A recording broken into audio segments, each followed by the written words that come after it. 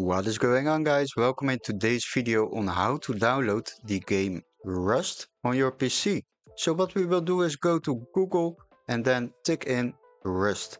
After entering, you will find the first link to the Steam website. Click on that. After you have clicked on that, simply scroll a little bit down and there you can view some videos about this game. You can check out some images you can read some information and definitely don't forget to check out the requirements for this game. So after you have decided to download this game, you simply click on add to cart. After you have added it to your cart, click on view my cart and sign in to purchase the game.